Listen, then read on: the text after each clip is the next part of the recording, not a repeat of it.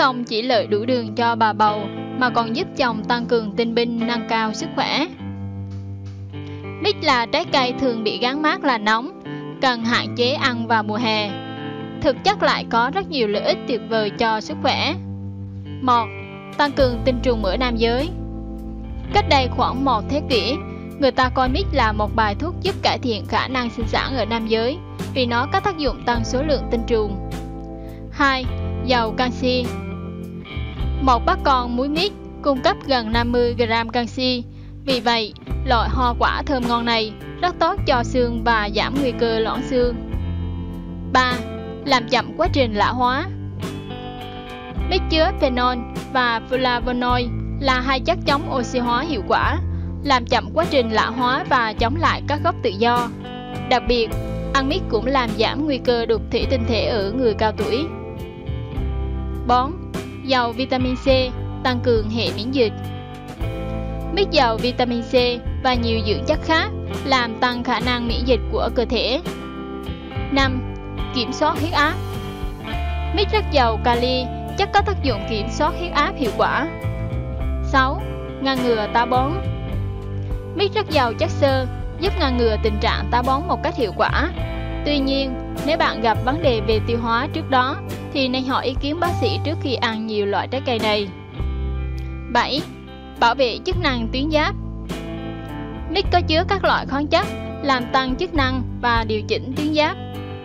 8. Cung cấp năng lượng tức thời 90% quả mít chứa carbohydrate, vì vậy chúng ta có thể thưởng thức mít như món ăn nhẹ giàu chất dinh dưỡng. Những lợi ích bất ngờ từ trái mít các mẹ bầu nên nhớ 1.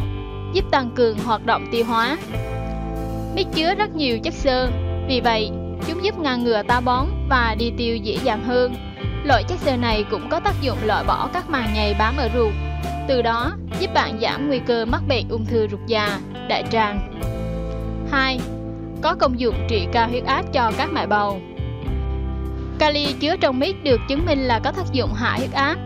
Trung bình cứ 100 g mít sẽ cung cấp khoảng 303 mg kali, có tác dụng làm giảm mức huyết áp của cơ thể. Do đó, các mẹ bầu nên ăn mít để góp phần duy trì mức huyết áp trong tầm kiểm soát. Nhất là những mẹ có tiền sử cao huyết áp. Ngoài ra, bà bầu ăn mít cũng giúp ngăn ngừa bệnh tim và hạn chế nguy cơ bị đột quỵ. 3. Mít giúp duy trì sức khỏe cho đôi mắt. Trong quả mít có hàm lượng vitamin A rất cao. Vitamin A có khả năng bảo vệ, duy trì sức khỏe cho đôi mắt, không bị bệnh quáng gà, thái hóa điểm vàng. Hơn nữa, ăn mít còn có thể khắc phục cho làn da luôn tươi tắn, sáng mịn. Đồng thời, trái mít còn có tác dụng hỗ trợ quá trình phát triển của tim, gan, phổi, thận, mắt, xương và hệ thần kinh trung ương của thai nhi. Đó là lý do các mẹ bầu nên ăn mít. Bón giúp xương luôn chắc khỏe. Trong quả mít rất giàu magie, nó là một chất dinh dưỡng quan trọng trong việc hấp thụ canxi và kết hợp với các canxi để giúp xương chắc khỏe, ngăn ngừa các rối loạn liên quan đến xương như loãng xương. Vì vậy, các mẹ bầu nên chịu khó ăn mít để giúp xương luôn chắc khỏe, ngăn ngừa bệnh loãng xương khi có tuổi. 5. Chống lại căn bệnh ung thư quái ác Mít rất giàu các chất dinh dưỡng thực vật. Đây là những loại chất có đặc tính chống ung thư và chống lão hóa. Chất dinh dưỡng thực vật này có khả năng loại bỏ những gốc tự do gây ung thư ra khỏi cơ thể, đồng thời còn làm chậm quá trình lão hóa của các tế bào. Các bà bầu ăn mít như nào mới tốt? Phần lớn những loại trái cây được cho là nóng trong người, như quả mít thường là những loại có hàm lượng đường cao, nên có thể gây cảm giác nóng sau khi ăn, nhất là đối với những mẹ bầu bị thừa cân béo phì hoặc bị tiểu đường thai kỳ. Tuy nhiên, lượng chất xơ, vitamin và nhiều loại khoáng chất có lợi trong những trái mít rất dồi dào, nên mẹ bầu vẫn có thể ăn một lượng vừa phải. Các mẹ nên ăn khoảng từ 60 đến 80 gram một ngày là vừa đủ để tận dụng những lợi ích trái cây mang lại, nhưng không gây hại cho cơ thể. Cảm ơn bạn đã xem video của Sức khỏe tự nhiên. Hãy like, comment và đăng ký kênh bạn nhé. Vì sức khỏe người Việt.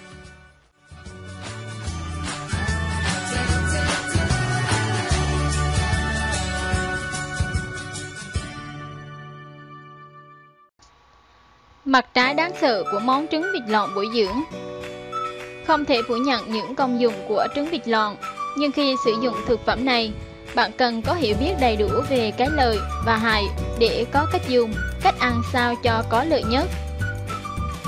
Trứng vịt lộn được coi là món ăn bổ dưỡng có tác dụng vàng, không chỉ là thực phẩm. Trứng vịt lộn còn được coi là vị thuốc bồi bổ cơ thể. Không thể phủ nhận những công dụng của trứng vịt lộn, nhưng khi sử dụng thực phẩm này, bạn cần có hiểu biết đầy đủ về cái lợi và hại để có cách dùng, cách ăn sao cho có lợi nhất. 1. Những lợi ích của trứng vịt lộn Theo đồng y, trứng vịt lộn có tác dụng tu tâm, dưỡng huyết, ích trí, giúp cơ thể nhanh tăng trưởng. Khi dùng chung với gia vị như rau răm, gừng tươi, trứng vịt lộn trở thành một bài thuốc chữa bệnh thiếu máu, suy nhược cơ thể, còi cọc, đau đầu, chóng mặt, yếu sinh lý. Theo các chuyên gia dinh dưỡng hiện đại, trong trứng lộn có chứa 13,6 g protein, 12,4 g lipid, 82 mg canxi, 212 mg phosphor, 600 mg cholesterol, 182 calo năng lượng. Ngoài ra, trong mỗi quả trứng còn chứa rất nhiều vitamin A, tiền vitamin A, chất sắt, glucid, vitamin B1 và C. Để phát huy hết công dụng của trứng vịt lộn, người ta thường ăn kèm với rau răm, gừng tươi và một chút muối.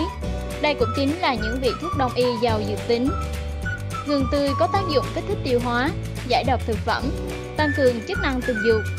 Trong khi đó, rau răm tính ấm có tác dụng ấm bụng, chống đầy hơi, sát trùng, tán hàng, ích trí, mạnh gan có, chữa lành bụng, say nắng.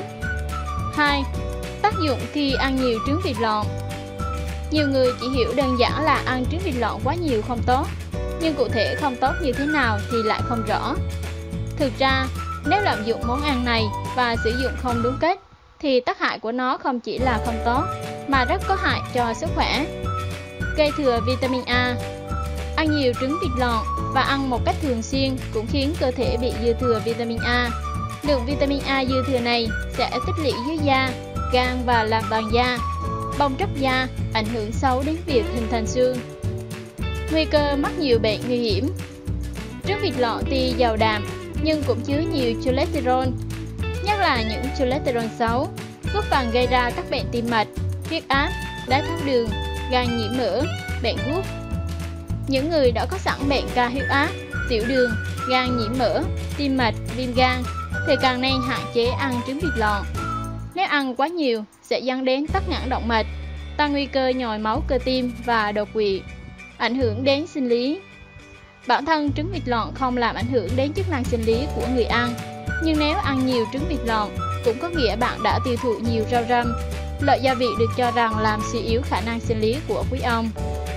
Đông y cho rằng ăn nhiều rau răm sẽ sinh nóng rát, giảm khả năng tình dục của nam giới. Các nghiên cứu hiện đại cũng cho thấy rau răm chứa một số loại tinh dầu có khả năng ức chế tình dục.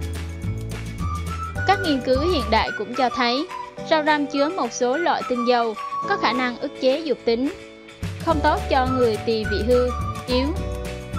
Theo đông y, trứng vịt lộn tính lạnh, mát, người có tỳ người có tỳ vị hư ăn vào dễ gây trì tệ. Theo đông y, trứng vịt lộn tính lạnh, mát, người có tỳ vị hư ăn vào dễ gây đầy trệ.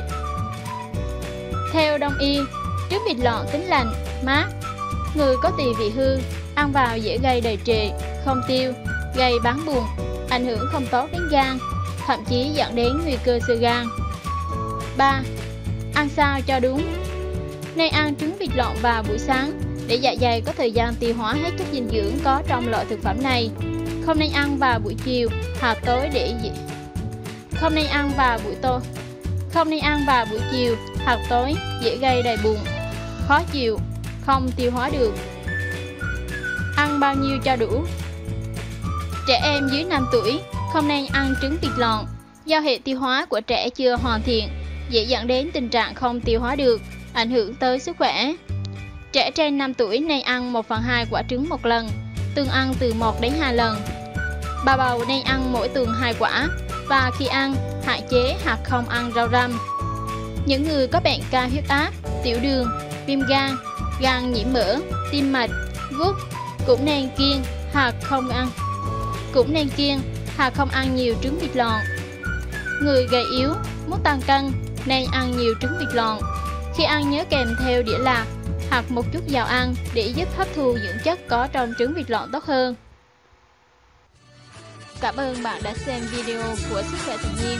Hãy like, comment và đăng ký kênh bạn nhé. Vì sức khỏe người Việt.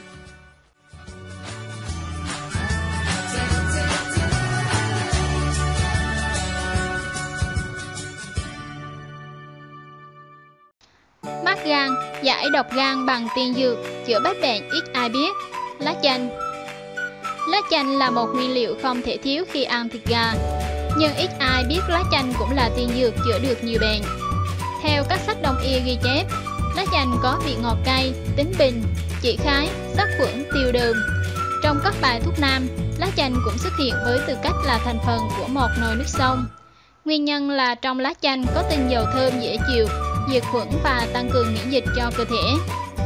Khi dùng làm thuốc, lá chanh thu hái về rửa sạch, thái nhỏ hạt để nguyên, phơi khô ở nơi không có nắng, bảo quản nơi khô ráo để dùng dần, hoặc có thể dùng tươi. Sau đây là một số công dụng của lá chanh. Trong lá chanh có tinh dầu thơm dễ chịu, diệt khuẩn và tăng cường miễn dịch cho cơ thể, trị sốt rét dai dẳng. Dùng lá chanh 100g, rượu 30 độ 100ml, lá chanh được thái nhỏ, đổ rượu vào ngâm rồi đem phơi sương một đêm. Uống một lần vào lúc sáng sớm, uống 3 đến 5 ngày liền. Chữa sầu quảng Lá chanh non, lá diếp cá, lá húng chanh, lá mùi tàu. Tất cả hái khi còn tươi, mỗi thứ một nắm, thái nhỏ trọn cho đều. Gói vào lá chuối hơi nóng Rạch cho thoáng rồi buộc lên vết lát Sau 24 giờ mới mở và thay miếng khác. Chữa nhức đầu, giải cảm. Một nồi nước lá xong với lá chanh, lá bưởi, lá tre, hương nhu và cúc tần, đồng thời bỏ thêm bạc hà, xả và tỏi sẽ giúp bạn đánh bật virus cảm cúm và bệnh đau đầu ra khỏi cơ thể. Hoặc nếu sợ xong, bạn hãy sử dụng cách uống như sau. Lá chanh 16g, tỏi bón đến 6g, lá dùng hoặc lá mít 16g, nghệ 16g, nước 450ml, sắc còn 150ml, uống xong nằm đắp chăn cho ra mồ hôi. Lá chanh cũng xuất hiện với tư cách là thành phần của một nồi nước sông, chữa nhức đầu giải cảm, chữa ho do lành. Gừng tươi và lá chanh, mỗi thứ một ít, sắc từ 400ml nước xuống còn 100ml. Khi uống cho thêm một ít đường, cổ họng sẽ hết ho và ngứa. Mắc gan, dùng lá chanh, lá có xay, lá gai khô, mỗi vị 12g, sắc với 3 bát nước trên bếp lửa nhỏ, sao cho còn một bát là được. Chia bát nước ra làm hai, uống sau bữa sáng và tối. Kiên trì thực hiện trong vòng 15 ngày để có kết quả tốt nhất. Dùng lá chanh, lá cối xay, lá gai khô, mỗi vị 12g, sắc với 3 bát nước trên bếp lửa nhỏ, sao cho còn một bát là được. Giúp tóc bóng mượt Chuẩn bị lá bưởi, hương nhu và lá chanh tươi, mỗi vị 30g. Rửa sạch, nấu lấy nước gội đầu, chỉ cần từng gội một lần là sẽ có mái tóc bóng mượt hẳn. Nước gội đầu từ lá chanh giúp bạn có một mái tóc bóng mượt hơn. Chữa cảm sốt không ra mồ hôi Cảm không ra mồ hôi thường lâu và hay để lại biến chứng. Điều cần làm là để cơ thể tiết mồ hôi trở lại để thải độc tố. Để làm được điều này, cần 10g lá chanh tươi, sắc lấy nước uống trong ngày. Ngoài lá chanh, có thể sử dụng thêm lá cúc tần, lá bưởi, vỏ quýt, lượt bằng nhau, sắc uống trong ngày. Điều trị hen phế quản Lá chanh khô 35g, dây tơ hồng 15g, tất cả xào vàng sắc với 3 bát nước, lấy một bát. Ngày uống 2 đến 3 lần, dùng liên tục trong 10 ngày. Giảm sưng đau do mụn nhọt, chưa có mũ. Lá chanh 10g, lá cây tầm sông 8g, tinh tre 10g, phơi khô tán bọt, rắc lên nơi tổn thương có mụn nhọt rồi băng lại trong khoảng 8 đến 10 phút. Ngày làm 2 lần. Bài thuốc này giúp mụn nhọn giảm sưng đau nhanh chóng. Chữa đầy bụng, bí tiểu ở trẻ em. Khi trẻ em bị đầy bụng, bí tiểu, có thể lấy lá chanh giả nát, hấp nóng, đắp vào rón. Ngoài chữa cảm sốt, lá chanh còn có thể chữa đầy bụng, bí tiểu ở trẻ em hay bảo vệ răng. Bảo vệ răng Nếu răng lung lay yếu, hãy lấy 40g lá chanh tươi, đun cách thị lấy nước, ngày ngập 2 đến 3 lần, mỗi lần 5 đến 10 phút. Sau 3 đến 5 ngày, răng chắc hơn. Trị nám sau sinh Bắt nồi nước lá chanh còn nóng và xong mặt trong 20 phút để đẩy tinh chất ngấm sâu vào da để trị nám, làm cho làn da trắng sáng mịn màng. Với cách xong mặt trị nám sau sinh này, bạn phải thực hiện kiên trì ít nhất trong 3 tháng mới cho kết quả. Hơn nữa, chỉ áp dụng khi đã sinh con được 4 tháng trở lên để đảm bảo sức khỏe cho làn da. Và mỗi lần xong khoảng 15 đến 20 phút thực hiện 3 lần trong tuần, giúp làm mờ nám, làm đẹp da. Chữa bệnh viêm xoang Tinh chất có trong lá chanh chống lại vi trùng, vi khuẩn gây bệnh xoang. Dùng lá chanh khô, đun sôi trong vòng 10 phút, sau đó chắc lấy nước và sử dụng nó để súc miệng mỗi ngày, giúp thông mũi, thông họng và hạn chế chất nhầy. Cảm ơn bạn đã xem video của Sức khỏe tự nhiên. Hãy like, comment và đăng ký kênh bạn nhé. Vì sức khỏe người Việt.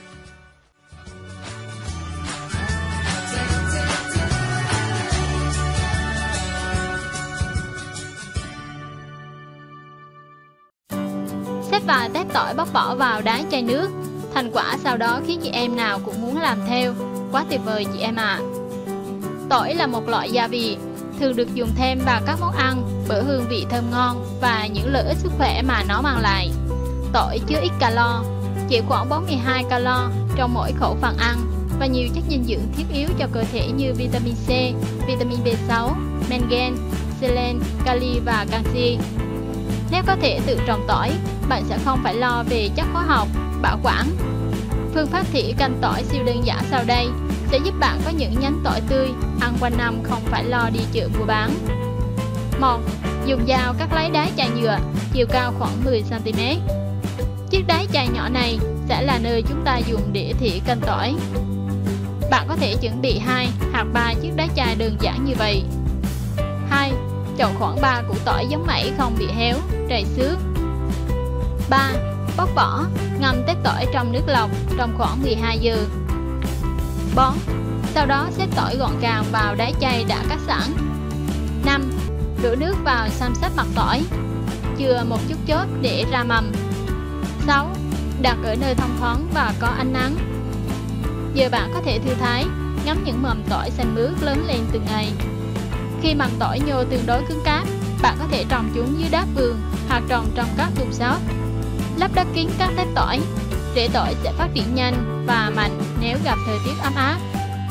Sau từ 2 đến 3 tháng, tỏi sẽ ra hoa. Hoa tỏi mọc thành cụm trên đầu, một trục hình trụ từ thân củ kéo dài ra. Bạn có thể thu hoạch những thân trụ và hoa, được gọi là ngồng tỏi để chế biến các món xào cực hấp dẫn.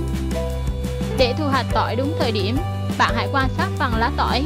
Số lá tỏi mọc quanh thân tương ứng với số tép của củ bên dưới. Khi 1 phần 2 số lá khô héo, có nghĩa tỏi đã sẵn sàng để bạn thu hoạch. Cảm ơn bạn đã xem video của Sức khỏe tự nhiên. Hãy like, comment và đăng ký kênh bạn nhé. Vì sức khỏe người Việt.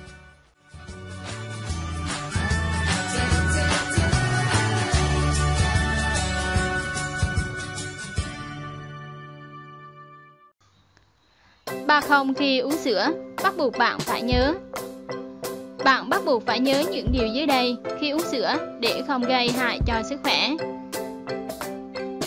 Đun sữa bằng lửa nhỏ Vì muốn tránh sữa trào ra hoặc cháy sữa khi đun, nên nhiều người dùng lửa nhỏ để đun sữa. Đun như vậy sẽ làm giảm vitamin trong sữa, giảm giá trị dinh dưỡng. Vì đun sữa bằng lửa nhỏ, thời gian đun kéo dài, chất dinh dưỡng trong sữa càng dễ bị oxy phá hoại. Cách làm khoa học là đun lửa to, khi sôi, rút lửa ngay. Như vậy, vừa giữ được thành phần của sữa, lại vừa có hiệu quả sát trùng sữa. Khi đun sữa, nếu đồng thời cho đường, nhìn bề ngoài thấy rất hợp vệ sinh, nhưng thật ra là phản khoa học. Vì trong sữa bò và đường có chứa lysine sẽ có phản ứng khi nhiệt độ cao, sinh ra lysine gốc glucose. Chất này có hại cho cơ thể. Cách làm chính xác là sau khi đun sôi sữa, để còn nóng già mới cho đường. Thực phẩm kỳ ăn chung với sữa Uống sữa ăn trứng Các chuyên gia chỉ ra uống sữa và ăn trứng vào bữa sáng chỉ cung cấp nhiều chất đạm chứ không đủ năng lượng. Thực tế, qua một đêm ngủ dài, năng lượng đã bị tiêu hao hết. Vì vậy, cơ thể cần một bữa sáng nhiều năng lượng. Khảo sát cho thấy, hiện nay có hơn 9% trẻ em chỉ uống sữa và ăn trứng vào bữa sáng như thế sẽ bị thiếu chất dinh dưỡng. Uống sữa ăn cháo Có người cho rằng ăn cháo uống sữa sẽ bổ sung chất dinh dưỡng. Các nhà khoa học khuyến cáo cách ăn uống này không khoa học mà phải dùng riêng từng loại thực phẩm sẽ tốt hơn.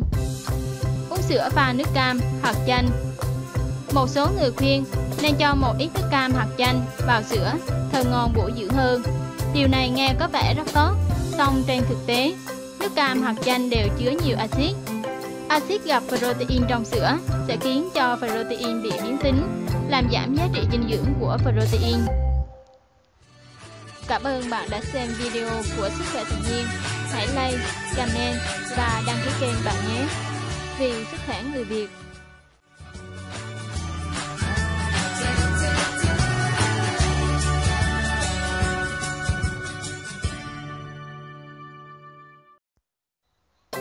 Bị những bệnh này, chỉ cần ăn đậu bắp là khỏi. Các bạn hãy lưu lại ngay để có sức khỏe tốt nhất. Ngừa ung thư vú Một nghiên cứu của các nhà khoa học Brazil được đăng trên chuyên sang Biology Letter cho thấy chất lectin có trong đậu bắp tiêu diệt tới 72% tế bào ung thư vú. Các chuyên gia còn nói rằng lectin nhựa hạt đậu bắp trì hoãn sự tăng trưởng của các tế bào ung thư vú tới 63%. Nghiên cứu trước đó của các nhà khoa học Ba Lan và Pháp đăng trên chuyên sang Phytotherapy Research cho kết quả pectin trong đậu bắp có tác dụng tiêu diệt các tế bào u ác tính. Trong thời gian điều trị 48 giờ, pectin giúp ức chế sự tăng trưởng của các tế bào ung thư tới 75%. Giảm cân hiệu quả Đậu bắp có chứa chất xơ giống như mướp nên có thể giúp bạn cảm thấy no lâu hơn. Khi ăn đậu bắp, bạn sẽ giảm được nguy cơ ăn vặt nhất là ăn vặt vào bữa tối. Do vậy, bạn sẽ không phải lo đến khả năng ăn quá calo cho phép. Tốt cho thận Với tác dụng lợi tiểu, nếu ăn đậu bắp hàng ngày sẽ giúp cơ thể giải độc thận và giúp bạn giảm cân nhờ đào thải được một lượng nước dư thừa. Đây cũng là một vũ khí tuyệt vời mà bạn có thể sử dụng để loại bỏ tình trạng đầy hơi. Hỗ trợ khả năng sinh sản và sức khỏe khi mang thai. Hàm lượng folate trong đậu bắp cao là yếu tố đặc biệt quan trọng mà bạn nên cân nhắc khi muốn bổ sung vào chế độ ăn uống trước khi thụ thai, vì nó làm giảm tỷ lệ dị tật ống thần kinh ở con. Tương tự như vậy, ăn nhiều folate trong thời kỳ giúp hỗ trợ một người mẹ và em bé khỏe mạnh. Giảm bệnh hen và ngừa bệnh táo bón Các chuyên gia cho biết, ăn đậu bắp giảm nguy cơ lên cơn hen ở những người mắc bệnh hen suyễn. Hàm lượng chất xơ có trong đậu bắp kích thích nhu động ruột qua đó ngừa táo bón. Tốt cho người bị tiểu đường Đậu bắp còn hữu ích cho bệnh nhân tiểu đường vì nó giữ ổn định lượng đường trong máu. Theo nghiên cứu của các nhà khoa học thuộc Bệnh viện Y học cổ truyền tỉnh Cát Lâm và Đại học Cát Lâm Trung Quốc, ăn đậu bắp cải thiện chức năng thận ở bệnh nhân tiểu đường. Bên cạnh đó, các đặc tính kháng khuẩn của đậu bắp giúp các cơn ho và giảm đau họng. Cảm ơn bạn đã xem video của Sức khỏe tự nhiên. Hãy like, comment và đăng ký kênh bạn nhé. Vì sức khỏe người Việt.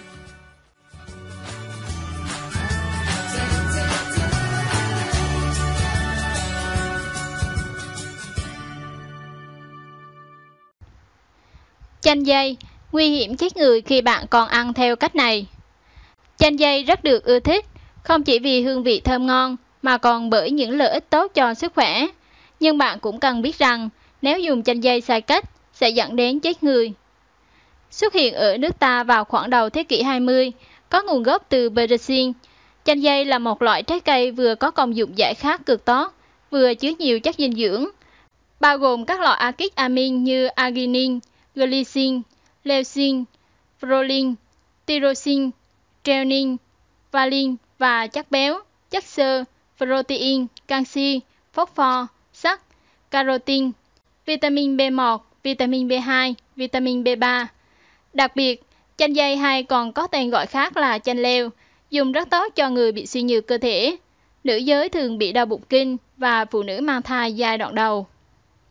Đồng thời, như đã biết, chanh dây là nguồn cung cấp vitamin C và vitamin A vô cùng dồi dào với các công dụng như chống oxy hóa mạnh mẽ, ức chế sự tăng trưởng của các tế bào ung thư, ngăn ngừa nhiễm trùng, chữa thiếu máu, cải thiện thị lực, tăng cường sức khỏe tim mạch, duy trì khả năng của hệ thống miễn dịch, điều trị các vấn đề tiêu hóa và những bệnh liên quan đến dạ dày, đẩy lùi căn bệnh táo bón, giảm các triệu chứng viêm xương khớp, giúp thư giãn và làm giảm bệnh mất ngủ, thúc đẩy sự phát triển của thai nhi trong giai đoạn đầu thai kỳ.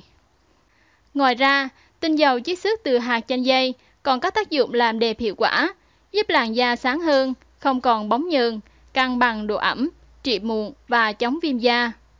Để chanh dây không gây ra tác dụng phụ nào, liều dùng an toàn cho sức khỏe của bạn là 1 đến 2 quả chanh dây mỗi ngày và pha chế thành 1 đến 2 ly. Xin nhắc bạn một số tác hại nghiêm trọng khi dùng chanh dây quá nhiều. Uống nước chanh dây quá nhiều và liên tục sẽ khiến bạn mệt mỏi, chóng mặt hay thậm chí là ngất xỉu. Nuốt một số lượng lớn hạt chanh dây cùng lúc và thường xuyên sẽ khiến hệ tiêu hóa của bạn không xử trí kịp. Về lý thuyết, sẽ dẫn đến bệnh viêm ruột thừa, hạt viêm túi thừa, ruột già và nếu không phát hiện kịp thời thì cực kỳ nguy hiểm. Dùng chanh dây khi đang sử dụng thuốc an thần hoặc thuốc kháng sinh có chứa chất hitamine sẽ làm tăng mức độ buồn ngủ. Rất nguy hiểm nếu bạn đang phải di chuyển trên đường. Nếu để chanh dây tương tác với thuốc chống đông có trong cơ thể sẽ làm tăng nguy cơ chảy máu, dễ dẫn đến nguy hiểm tới tính mạng. Đối với cơ địa nhạy cảm, chanh dây có thể gây ra những hiện tượng dị ứng trên da như nổi mề đay, phù mạch máu, khó thở và lên cơn hen suyễn. Tuyệt đối không để người bị lét dạ dày dùng chanh dây vì loại trái cây này chứa nhiều axit hữu cơ và khiến nguy cơ xuất hiện sỏi thận tăng lên. Không nên để phụ nữ đang mang thai hoặc cho con bú uống chanh dây với số lượng nhiều để tránh các trường hợp đáng tiếc có thể xảy ra. Chắc chắn bạn phải đến gặp bác sĩ ngay nếu thấy cơ thể có một trong các triệu chứng trên sau khi dùng chanh dây. Cảm ơn bạn đã xem video của Sức khỏe tự nhiên. Hãy like, comment và đăng ký kênh bạn nhé. Vì sức khỏe người Việt.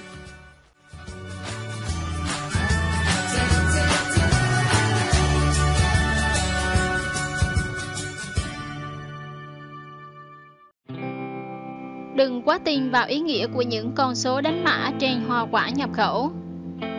Theo Giám đốc Viện Tiêu chuẩn và Chất lượng Việt Nam, mã FLU được sử dụng tự nguyện và Việt Nam hiện nay chỉ quản lý đầu mã số quốc gia 893. Trong khi đó, Chủ tịch Hiệp hội Siêu thị Hà Nội lại cho rằng những mã số khi không có cơ quan chức năng đứng ra chịu trách nhiệm thì người tiêu dùng không nên quá tin tưởng. Dân mạng xôn xao bàn tán về ý nghĩa những con số được gắn trên hoa quả nhập khẩu. Mỗi khi đi siêu thị hoặc đến cửa hàng hoa quả nhập khẩu để lựa chọn trái cây cho bản thân và gia đình, có bao giờ bạn để ý đến những con số được gắn trên chúng và tự hỏi mã số ấy có ý nghĩa gì? Theo kinh nghiệm của nhiều người, những mã số này được gọi là PLU, Free Lookup, hiển thị các thông số về chất lượng sản phẩm. Trong bối cảnh thực phẩm sạch và bẩn đang tồn tại lẫn lộn như hiện nay, những con số này được bà nội trợ đặc biệt quan tâm, coi nó là cách giúp phân biệt chất lượng của các loại hoa quả. Theo chia sẻ của nickname TN, bí kíp khi đi siêu thị mua hoa quả nhập khẩu là nhất định phải nhìn vào mã vạch trên từng loại quả. Nếu trên tem có bốn chữ số bắt đầu bằng số 3, đây là trái cây được xử lý bằng công nghệ ion hóa, TN viết. Theo thông tin trên nhiều trang mạng khác, kho quả sử dụng công nghệ này được nâng cao chất lượng vệ sinh an toàn thực phẩm và kéo dài thời gian bảo quản. Liều lượng chiết xạ ion tùy thuộc theo lượt của từng nước. Ví dụ như Mỹ theo quy định của FDA, Việt Nam theo quy định của Bộ Y tế. Vì thế, theo TN, nếu nhìn thấy mã vạch này, người tiêu dùng có thể tin tưởng và chọn mua sản phẩm. Nếu trên tem có bốn chữ số bắt đầu là bóng ký hiệu này cho biết trái cây có sử dụng phân bón hóa học, thuốc trừ sâu trong khi trồng và có chất bảo quản khi hái xuống. Vì vẫn sử dụng cách gieo trồng truyền thống, nên rất có thể trong các lọ hoa quả này vẫn tồn dư các chất gây độc hại như Nếu trên tem có bón chữ số bắt đầu là bón, ký hiệu này cho biết trái cây có sử dụng phân bón hóa học thuốc trừ sâu trong khi trồng và có chất bảo quản khi hái xuống. Vì vẫn sử dụng cách gieo trồng truyền thống, nên rất có thể trong các lọ hoa quả này vẫn toàn dư các chất gây hại cho sức khỏe và người tiêu dùng. Đáng nói nhất là nếu trên tem có dãy số bắt đầu bằng 8 là loại trái cây biến đổi gen, tuyệt đối nên tránh. Trái cây đáng được mua nhất theo TN và nhiều bà nội trợ khác chính là khi trên tem có 5 chữ số bắt đầu bằng số 9 Lý do là các loại hoa quả này được canh tác theo phương thức hữu cơ, không sử dụng phân bón, thuốc trừ sâu hóa học và rất an toàn với sức khỏe. Tuy nhiên, vì có tiêu chuẩn cao nên chúng thường có giá rất đắt. Vậy nên, chị em mua trái cây nhập cho con nít ăn, có tiền thì chơi luôn số 9 cho lành. Loại số bón, người ta hay biếu tặng trong giỏ. Nếu ăn, nhớ ngâm nước muối và gọt vỏ. Nickname này đưa ra lời khuyên. Ngay sau khi chia sẻ trên trang cá nhân, những thông tin mà TN cung cấp lập tức nhận được sự hưởng ứng của rất nhiều người. Không ít bình luận cho rằng bản thân họ cũng từng nghe qua về mã vạch PLU, tuy nhiên lại ít khi để ý đến nó. Trong khi đó, nhiều ý kiến khác lại cho rằng mã PLU chỉ nên xem như một kênh tham khảo chất lượng, không nên quá tin tưởng vào nó. Người tiêu dùng không nên đặt tất cả trứng vào một giỏ. Trao đổi với chúng tôi, ông Phó Đức Sơn, Viện trưởng Viện Tiêu chuẩn Chất lượng Việt Nam, thuộc Tổng cục Tiêu chuẩn và Đo lường Chất lượng cho biết, mã tra cứu giá PLU là loại mã của Hiệp hội Tiêu chuẩn Nông sản Quốc tế. Theo tài liệu hướng dẫn sử dụng của các tổ chức này, thì mã PLU được sử dụng cho các nông sản được bán dạng rời, tự do, theo căn hạt từng sản phẩm, ví dụ quả táo hay bó rau. Mã PLU gồm 4 hạt 5 ký tự. Mã này thường được sử dụng tại quầy thanh toán để xác định giá của sản phẩm gắn mã. Việc sử dụng mã PLU là tự nguyện và có các giải mã 3.000, 4.999, 93.000, 94.999 và sẽ có thể mở rộng giải 83.000, 84.999 trong tương lai, ông Sơn chia sẻ. Theo ông Sơn, tiền số 9 đứng đầu của mã PLU 5 ký tự dùng để chỉ thị các sản phẩm gắn mã thuộc nông sản nuôi trồng theo phương pháp hữu cơ, nông sản hữu cơ. Đối với PLU, bón chữ số thường để gắn cho các nông sản được nuôi trồng theo cách phổ biến, thông thường. Tuy nhiên, ông Sơn cho hay, theo tài liệu hướng dẫn thì không thấy đề cập đến số 3 của mã PLU bón ký tự là để chỉ nông sản được xử lý bằng công nghệ bức xạ ion hóa như thông tin lan truyền trên mạng. Ông Sơn cũng cho rằng để trả lời câu hỏi tiêu dùng có nên tin tưởng vào các nhãn dán trên sản phẩm không? Đó là một câu hỏi vô cùng khó vì nó hoàn toàn phụ thuộc vào trách nhiệm của người bán hàng. Theo ông Sơn, trên thị trường hiện nay còn có một loại mã khác, đó là GX1. Trên sản phẩm nông sản bán theo dạng rời, tự do, đề cập trên đang được các nước khuyến khích áp dụng mã vạch GX1 Trên sản phẩm nông sản bán theo dạng rời, tự do, đề cập trên được các nước khuyến khích áp dụng mã vạch GS1, Datapa của tổ chức mã số mã vạch quốc tế GS1. Mã vạch GS1 Datapa có ưu điểm mang được nhiều dữ liệu hơn so với các mã vạch thuộc họ mã EAN trên UPC, thường in trên bao bì sản phẩm hàng hóa, bán lẻ có đo lường cố định thông thường bao gồm mã thương phẩm toàn cầu GTIN và các dữ liệu bổ sung liên quan sản phẩm như hạn sử dụng, số lô, ngày thu hoạch. Hiện nay, một số thị trường như Mỹ, Canada, Úc, New Zealand đã tham gia và sử dụng hệ thống mã PLU của IFPS, nên nông sản nhập từ nước này về Việt Nam có thể có nhãn chứa mã PLU và mã vạch GS1 Datapa. Tuy nhiên, ở Việt Nam, Tổng cục Tiêu chuẩn Đo lường Chất lượng được Bộ Khoa học Công nghiệp giao và đại diện của Việt Nam tham gia vào tổ chức MSMV quốc tế GS1 và được tổ chức GS1 quốc tế cấp mã quốc gia có đầu số 893. Hiện tại, Tổng cục đang tổ chức cấp và quản lý MSMV có đầu số 893. Trong khi đó, ông Vũ Vinh Phú, Chủ tịch Hiệp hội Siêu thị Hà Nội, cho rằng người tiêu dùng không nên đặt tất cả trứng vào một giỏ hoàn toàn tin tưởng vào tính xác thực của mã PLU. Theo ông Phú, các thông số trên sản phẩm nếu không được các cơ quan có uy tín chứng nhận, không trở thành quy định bắt buộc, xuất hiện trong các văn bản pháp quy và có cơ quan đứng ra chịu trách nhiệm, thì người tiêu dùng chỉ nên xem nó như một cách để tham khảo khi mua hàng.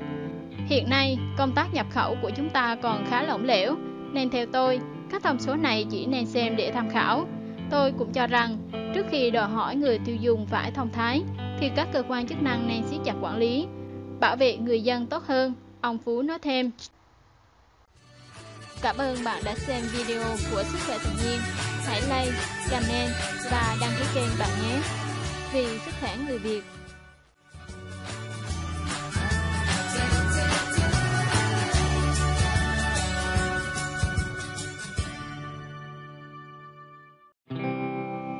Cô bán sầu riêng 12 năm, chỉ cách phân biệt sầu riêng hóa chất cực chuẩn, ai không biết thì tiếc cả đời.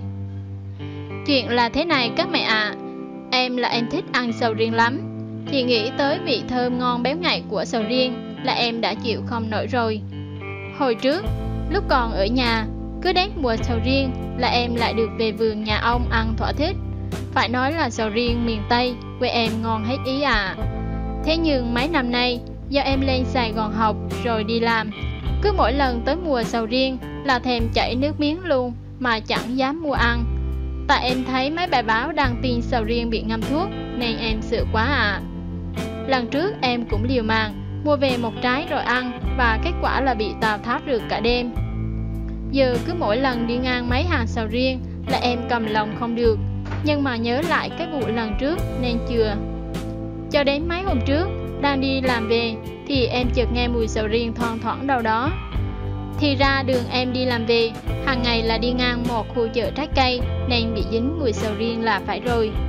Dừng xe lại quan sát xung quanh thì em mới thấy hàng sầu riêng của một cô bán gần đó. Thêm quá chịu không nổi, em đánh liều đến mua đài. Vừa bước xuống xe đến lựa là cô bán hàng đã cười niềm nở với em rồi.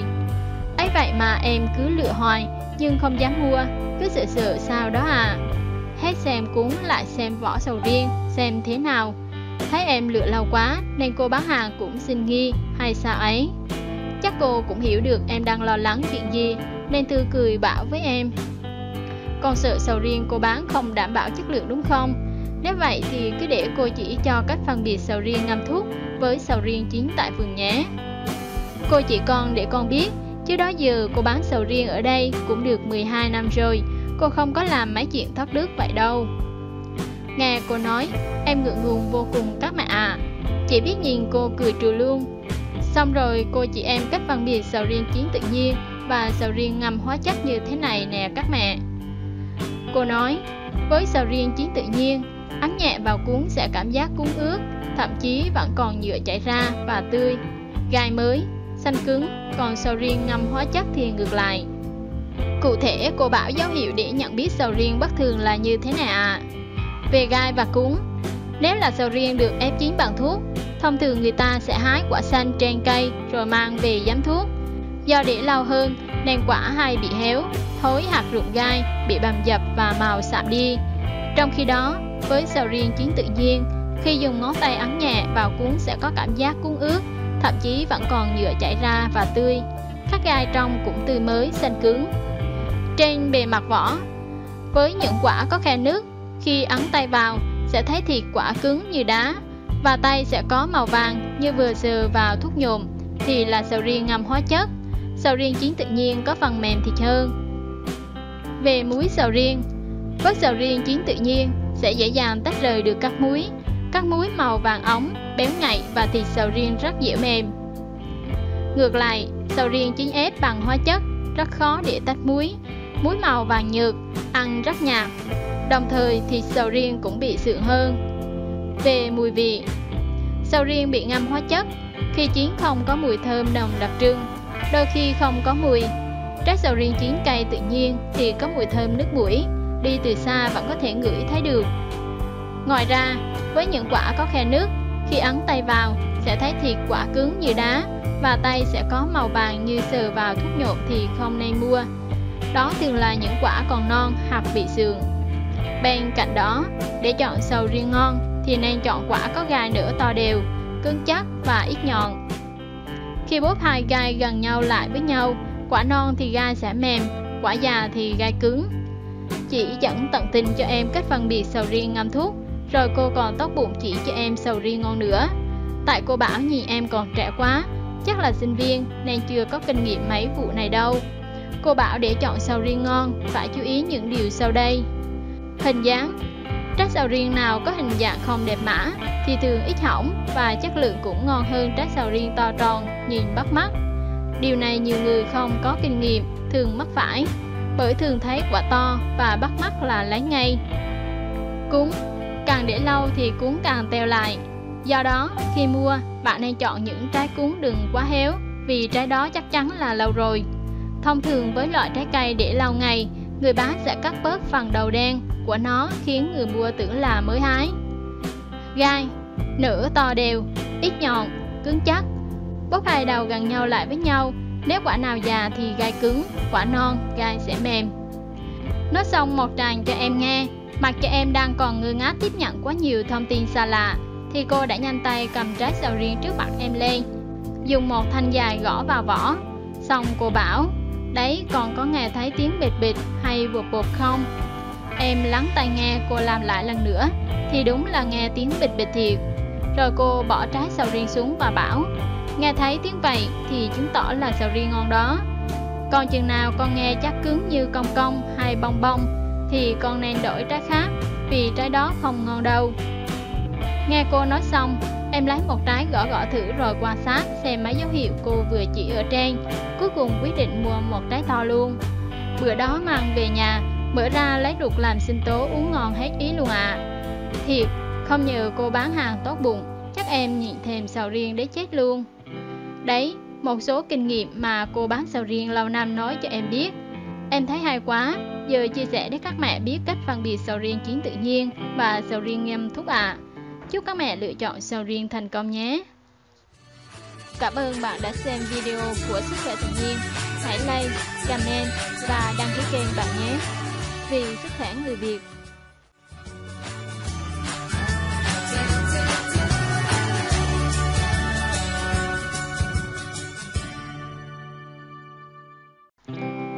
Cứ tưởng ăn mít nóng, khó tiêu, ai dè sốc khi phát hiện ra công dụng chữa xấu bệnh tuyệt vời này.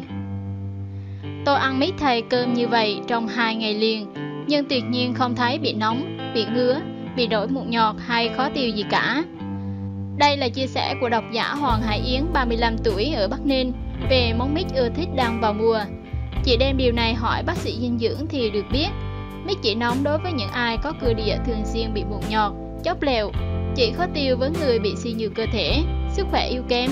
Còn lại, với người có thể trạng bình thường thì ăn mít vô tư, bởi mít là loại trái cây giàu năng lượng và rất tốt cho tiêu hóa. Theo các chuyên gia dinh dưỡng, mít là loại trái cây có rất nhiều dưỡng chất thiết yếu như kali, vitamin A, vitamin C, cùng những khoáng chất như sắt, magie, đồng, kali và chất xơ và nhiều chất chống ung thư. Do vậy, ăn mít rất tốt cho sức khỏe. Tuy nhiên, nhiều người đã có quan niệm sai lầm về loại quả bổ dưỡng tuyệt vời này. Những quan niệm sai lầm về việc ăn mít Ăn mít khó tiêu, không đúng. Vì mít rất hữu ích trong việc giải quyết các vấn đề đầy bụng, khó tiêu. Nó làm giảm nhiệt và kích thích hoạt động của dạ dày, cải thiện dòng chảy của dịch tiêu hóa, giúp cơ thể tiêu hóa thức ăn tốt hơn. Trong mít có chứa rất nhiều vitamin C và chất xơ có lợi cho tiêu hóa. Chất xơ có trong quả mít được tiêu hóa rất nhanh, cho phép điều chỉnh hoạt động tiêu hóa của ruột. Nó giúp thúc đẩy quá trình loại bỏ chất thải từ thức ăn ra khỏi cơ thể chúng ta. Vì chất lượng chất xơ cao, mít là loại trái cây tuyệt vời có thể giúp bạn giảm thiểu và phòng ngừa bệnh táo bón. Ăn mít sẽ khiến bị tăng cân, không đúng. Ngược lại, ăn mít còn giúp bạn giảm cân rất hiệu quả nếu biết sử dụng đúng cách và hợp lý. Quả mít rất giàu vitamin C, chất xơ, kết hợp với protein làm cho chất béo bị đốt cháy hiệu quả và làm giảm trọng lượng cho cơ thể. Bản thân mít không có chất béo, có chứa rất nhiều chất xơ cho nên sau khi ăn sẽ chiếm rất nhiều không gian dạ dày, làm cho ta dễ có cảm giác no. Theo đó, khống chế được lượng ăn vào, tránh được tình trạng béo phì do ăn uống nhiều. Mít sẽ làm bạn tăng cân chỉ khi bạn ăn quá nhiều. Nếu ăn với liều lượng hợp lý, mít hoàn toàn có thể giúp bạn giảm cân và tốt cho sức khỏe. Ăn mít nhiều gây nóng, sinh ra ngứa ngáy, chốc lửa, mụn nhọt, không đúng. Theo chuyên gia dinh dưỡng, bất cứ loại quả chín nào cũng là nguồn cung cấp vitamin và muối khoáng quan trọng trong chế độ ăn của mỗi người. Vì ăn trực tiếp, không qua nấu nướng, nên quả chín giữ nguyên được hàm lượng vitamin và khoáng chất. Trong muối miết chứa nguồn vitamin C, vitamin A dồi dào, giúp cơ thể tăng sức đề kháng rất tốt, giúp cơ thể chống lại quá trình oxy hóa một cách mạnh mẽ. Nhờ những tác dụng như vậy, nên ăn mít không những không gây mụn nhọt, chốc lửa, mà ngược lại giúp duy trì đủ độ ẩm của làn da bảo vệ da khỏi bị khô, bệnh vảy nén, mụn trứng cá và nếp nhăn. Tuy nhiên, chỉ có những người hay bị cơ địa mọc mụn nhọt, rôm sảy hay bị chấp lệ mắt không nên ăn nhiều. Nguyên nhân là bởi hàm lượng đường cao trong quả chín sẽ làm tăng lượng đường trong máu, là môi trường thuận lợi cho các loại vi khuẩn phát triển, nhất là tụ cầu, nguyên nhân gây nên tình trạng mụn nhọt, chốc lửa. Những lợi ích tuyệt vời khác của quả mít Chống lại bệnh ung thư Mít rất giàu chất chống oxy hóa như vitamin C, kali, góp phần làm giảm nguy cơ stress có liên quan đến nhiều bệnh ung thư. Đồng thời, một nghiên cứu gần đây cho thấy một hợp chất trong quả mít được gọi là linan và saponin có hiệu quả giúp ngăn ngừa ung thư. Những loại chất dinh dưỡng thực vật có khả năng loại bỏ các gốc tự do gây ung thư ra khỏi cơ thể và làm chậm quá trình thái hóa của tế bào, nguyên nhân dẫn đến các căn bệnh liên quan đến thái hóa. Ổn định huyết áp cao Kali là dưỡng chất đóng vai trò quan trọng cho những hoạt động của hệ thần kinh, có tác dụng làm giảm mức huyết áp. Trong quả mít chứa hàm lượng kali cao, với những người bị tăng huyết áp, quả mít có tác dụng tăng cường khả năng giải độc của gan, xúc tiến quá trình chuyển hóa cholesterol và dự phòng sơ vữa động mạch. Ăn mít thường xuyên là cách để làm giảm nguy cơ đau tim và đột quỵ. Giúp xương chắc khỏe Các nghiên cứu mới đây đã chỉ ra rằng các thành phần trong mít góp phần làm cho xương chắc khỏe. Trong mít chứa rất nhiều magie, một chất dinh dưỡng quan trọng cho việc hấp thụ canxi giúp xương chắc khỏe. Ngăn ngừa các rối loạn liên quan đến xương như viêm khớp, loạn xương. Ngăn ngừa thiếu máu Mít được biết đến với tác dụng tăng cường máu, rất tốt vì nó giàu chất sắt. Ngoài ra, quả mít cũng chứa nhiều các dưỡng chất như kali, natri, vitamin C và vitamin A, nên nó có thể làm tăng sự hấp thu và nồng độ oxy trong máu, giảm nguy cơ thiếu máu hiệu quả. Bên cạnh đó, mít còn có tác dụng thúc đẩy hoạt động bình thường của các tế bào hồng cầu trong cơ thể, giảm thiểu nguy cơ mắc bệnh tim. Cũng giống như hầu hết các loại trái cây và rau củ khác, mít cũng là loại trái cây thân thiện đối với tim mạch vì lượng vitamin B6 cao trong mít có thể làm giảm homocysteine trong máu, yếu tố gây nên bệnh sơ cứng động mạch. Phòng ngừa chứng quán gà Mít chứa lượng vitamin A bằng lượng vitamin A của khoảng 1 phần 4 ly cà rốt, nên loại trái cây này có khả năng phòng ngừa các bệnh về mắt như chứng quán gà. Giữ tuyến giáp luôn khỏe mạnh Đồng là khoáng chất, giữ vai trò quan trọng trong sự trao đổi chất cho cơ thể, đặc biệt là sự sản sinh và hấp thụ hormone. Ngoài ra, nó còn giúp cho tuyến giáp luôn khỏe mạnh. Bích là nguồn thực phẩm tập hợp nhiều chất dinh dưỡng cần thiết cho cơ thể, trong đó có khoáng chất đồng. Cảm ơn bạn đã xem video của Sức khỏe tự nhiên. Hãy like, comment và đăng ký kênh bạn nhé. Vì sức khỏe người Việt.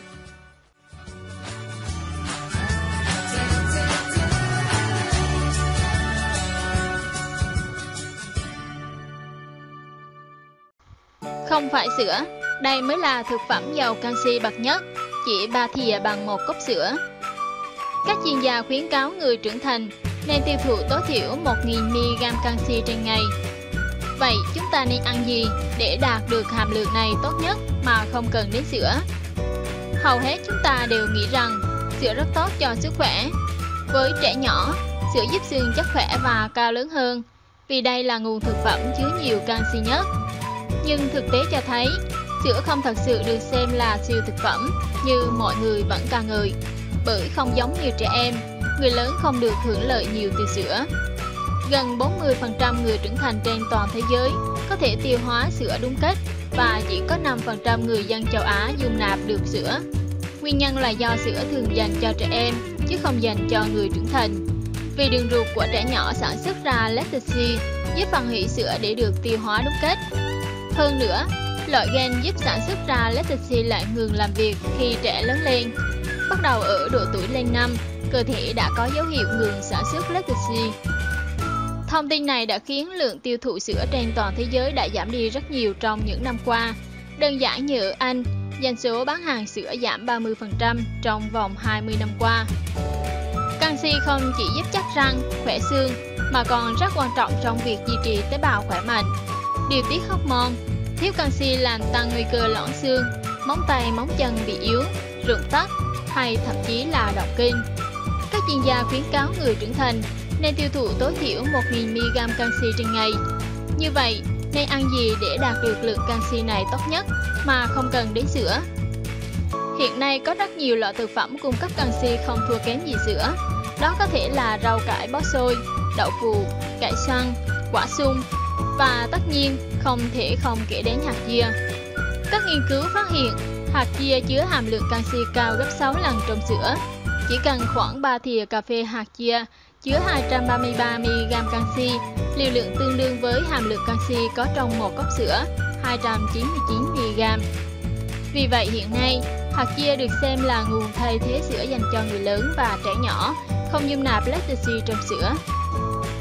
Những lợi ích sức khỏe của hạt chia không những thế, báo cáo nghiên cứu của Hiệp hội Nông nghiệp Mỹ USDA cho thấy hạt chia giàu chất dinh dưỡng cần thiết cho con người. Còn nghiên cứu khoa học của trường Đại học California, Mỹ cho thấy hạt chia mang tới nhiều công dụng tốt cho cơ thể chúng ta. 1.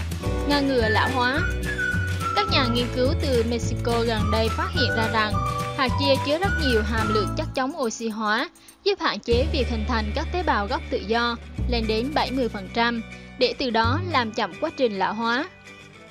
2. Cải thiện hệ tiêu hóa Hạt chia chứa hàm lượng chất xơ cao gấp 1,6 lần so với lúa mạch, 2,3 lần so với lúa mì, 2,6 lần so với yến mạch và 9,8 lần so với gạo. Như vậy, chỉ cần 2 thìa hạt chia, bạn đã nạp vào cơ thể 10 g chất xơ tương đương 1 phần 3 lượng chất xơ cần thiết trong ngày. 3. Hỗ trợ điều trị bệnh tiểu đường các nhà nghiên cứu thuộc trường Đại học Litura cho biết, hạt chia có khả năng điều hòa lượng insulin, có khả năng làm giảm nồng độ insulin trong máu, từ đó hỗ trợ làm giảm các triệu chứng tiểu đường vì chứa nhiều axit alpha, vì chứa nhiều axit alpha, linolenic và chất xơ. 4. Giúp xây dựng cơ bắp và giảm cân. Hạt chia cũng chứa nhiều protein, vì thế đây là loại thực phẩm lý tưởng cho những ai đang muốn giảm cân hoặc xây dựng cơ bắp. Chúng cũng chứa nhiều chất chống oxy hóa, vì vậy sẽ giúp thay thế bất kỳ chất dinh dưỡng nào mà cơ thể mất đi trong quá trình tập luyện. 5. Cải thiện sức khỏe tim mạch Hạt chia cũng được chứng minh có thể chống viêm và điều hòa cholesterol, do đó rất tốt cho tim mạch. Cách sử dụng hạt chia Rắc lên ăn cùng sữa chua, hạt nước ép, sinh tố hoa quả. Nước uống hạt chia Dùng 1 đến 2 thìa cà phê hạt chia ngâm vào nước lọc khoảng 10 phút, khuấy đều để tránh bón cục. Canh hạt chia Dùng 3 đến 4 muỗng cà phê hạt chia cho vào nồi canh khi đang nấu hoặc hầm chung với các loại rau củ quả để có món ăn dinh dưỡng. Cho vào 1-2 muỗng hạt chia vào món rau tròn hạt salad rau để tăng dinh dưỡng và tạo ra một khẩu vị mới. Cảm ơn bạn đã xem video của Sức khỏe tự nhiên. Hãy like, comment và đăng ký kênh bạn nhé. Vì sức khỏe người Việt.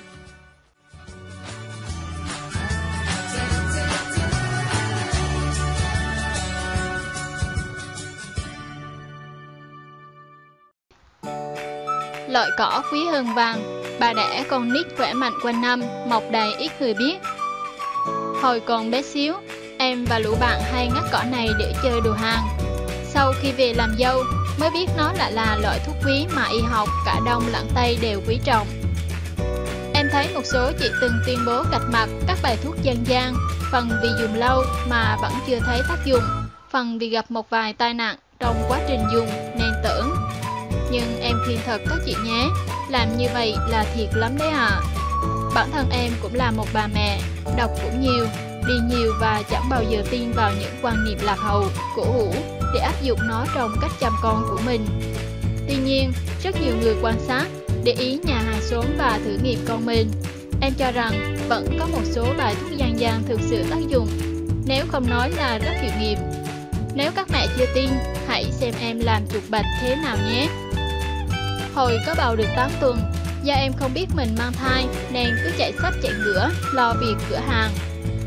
Kết quả là em bị động thai, chảy cả máu.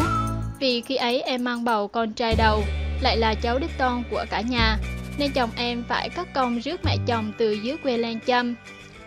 Lúc lên, bà mang theo rất nhiều thứ cây trồng trong vườn nhà, trong đó có cả một bịch cỏ bừa dài dài mà mới nhìn em chưa đoán ra là gì. Bà bỏ ra cho xem, em mới biết loại cỏ này, ngày trước em và lưu bạn vẫn thường bước, cho lên bắt dây thun và chơi trọi gà. Nghe má nói, lấy cỏ này sát nước để uống, tưởng nói chơi, ai ngờ hôm sau má làm thật. Má bảo đây là cỏ măng trầu, chỉ cần em chăm chỉ uống ngày hai lần buổi sáng và tối thì ít hôm nữa sẽ hết động thai mà chứng ốm ngán cũng khỏi luôn. Ban đầu em cũng hơi ngại uống vì từ trước giờ chỉ trọng thuốc tây, vừa nhanh hiệu quả lại là cả xã hội người ta đều dùng. Nhưng vì má chồng cứ kè kè bên cạnh nên chẳng dám bỏ.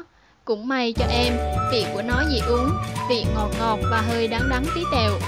Sau 5 ngày uống liên tục thứ nước này, chồng đưa em đi tái khám lại, đến cả bác sĩ cũng phải trố mắt ngạc nhiên. Từ sau lần ấy, em bắt đầu tin tưởng công dụng của cỏ măng trầu này, nhưng cũng không nghĩ nó lại có nhiều lợi ích như thế. Lúc em sắp sinh, má chồng lên thăm cũng đùm đều quà quê và không quen gói cho em một bịch cỏ măng trầu, dặn dò.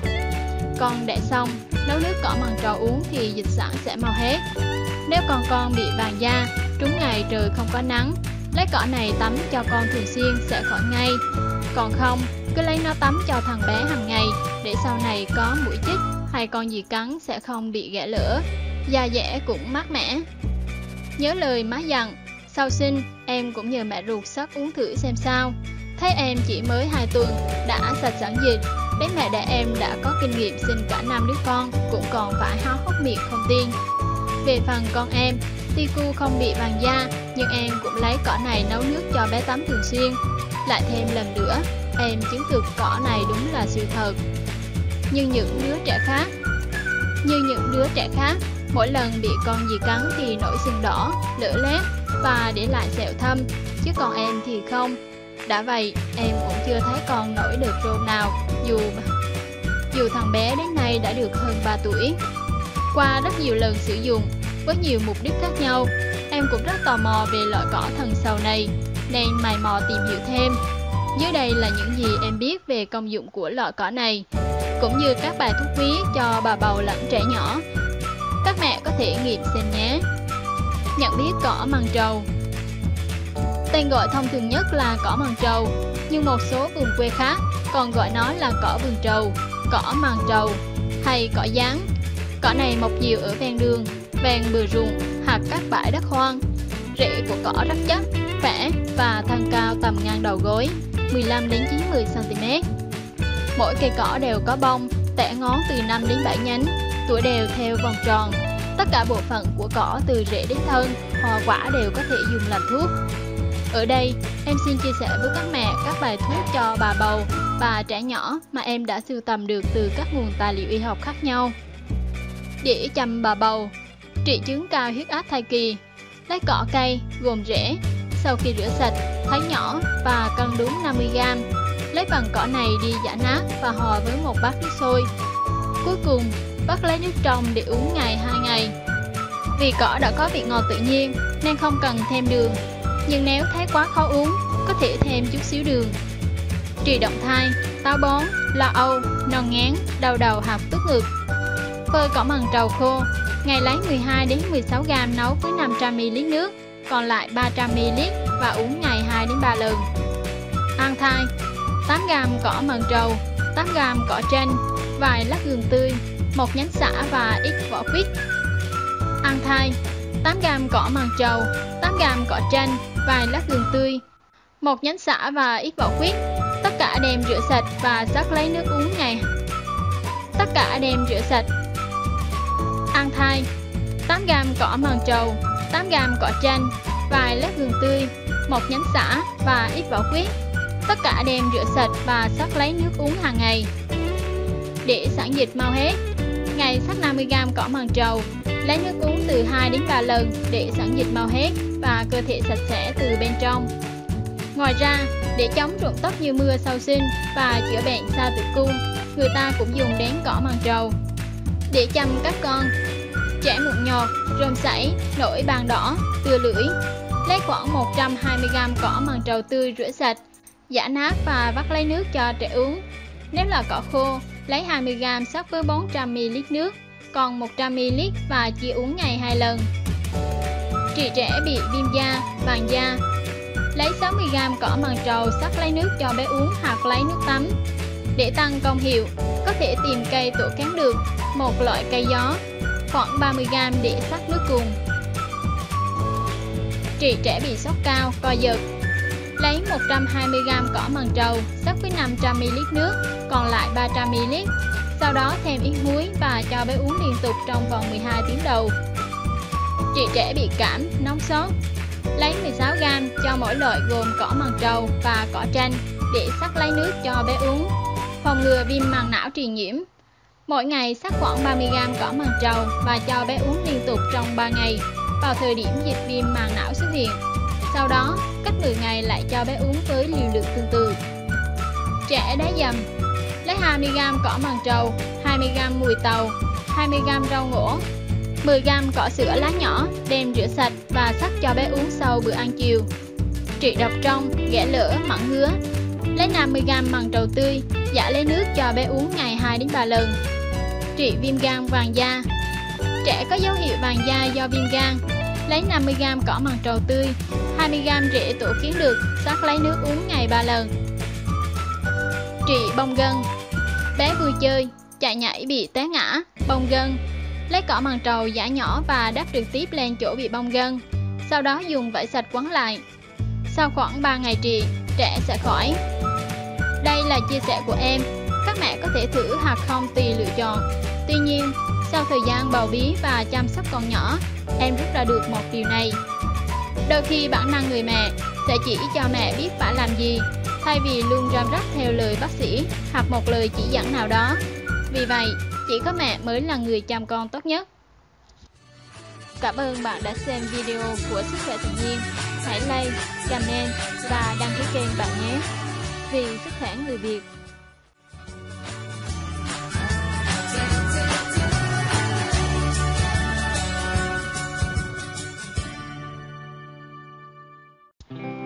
Cho mì chính vào món ăn. Hãy tiếp tục nếu muốn đùa giỡn với tính mạng của bạn và gia đình. Khá nhiều dịch vụ ăn uống sử dụng mì chính đánh lừa miệng của khách hàng. Trong khi đó, tác hại từ việc sử dụng mì chính quá liều rất khó lường và tổn thương não bộ ghê gớm. Mì chính hay còn gọi là bột ngọt giúp thức ăn trở nên ngọt ngào, hấp dẫn hơn, nhưng bản thân nó không hề có giá trị dinh dưỡng, thậm chí còn gây hại nếu lạm dụng quá mức. Theo thạc sĩ Lưu Thủ Nghị, Đại học Nam Lâm, thành phố Hồ Chí Minh, mì chính là muối của axit glutamic, rất có tác dụng trong việc truyền tín hiệu của thần kinh. Dùng nhiều mì chính sẽ gây rối loạn hoạt động của não, mất trí nhớ, làm tiêu hao B6, dễ gây những cơn động kinh. Phó giáo sư tiến sĩ Nguyễn Di Thịnh, Viện Công nghệ Sinh học và Thực phẩm, Đại học Bách khoa Hà Nội cũng cho rằng Dùng quá nhiều mì chính sẽ gây rối loạn hoạt động não, dẫn đến suy thoái não. Chưa kể gan và thận do phải làm việc cật lực để phải hồi độc chất axit amin có trong mì chính, dẫn đến sự suy yếu và gây nhiều rối loạn. Ăn quá nhiều mì chính còn gây ra các triệu chứng như nóng rang sau gáy, choáng váng, nhức đầu, khô cổ, nhiều đờm, khó chịu. Các cơn hen có thể xuất hiện khoảng 12 giờ sau khi dùng mì chính nhiều người sau 30 phút sử dụng quá nhiều mì chính sẽ gây nên cơn trầm cảm với nhiều biểu hiện khác nhau như căng thẳng, hoa mắt, nhức đầu, buồn non, đau bụng, ủ rũ, những cơn bốc nóng sau gáy bất thường. Ngoài ra, những người có thể trạng nhạy cảm hay bị nhức đầu, đỏ mặt, đau gáy, nôn mửa, người mắc bệnh hen suyễn, cao huyết áp, thận, tim và trẻ em không nên sử dụng mì chính vì cơ thể sẽ có những diễn tiến xấu với những người mắc bệnh lý nói trên sẽ khiến bệnh nặng hơn, còn với trẻ em ăn mì chính sẽ làm thay đổi khẩu vị và gây nghiện mì chính khi không có gia vị này. Trẻ sẽ không ăn, vô tình gây độc cho não của các bé. Ngoài ra, với các món chua, món ngọt không nên cho mì chính sẽ làm mất độ chua, độ ngọt đúng vị của món ăn. Cũng không nên dùng mì chính với các món trứng vì trong trứng có nhiều bọt và khi kết hợp với muối natri clorua rồi đun nóng sẽ tạo ra thứ mì chính tinh khiết, giúp trứng có hương vị thơm ngon. Do đó, cho mì chính vào trứng sẽ gây nên tình trạng thừa mì chính và gây hại cho sức khỏe. Cảm ơn bạn đã xem video của Sức khỏe tự nhiên. Hãy like, comment và đăng ký kênh bạn nhé. Vì sức khỏe người Việt.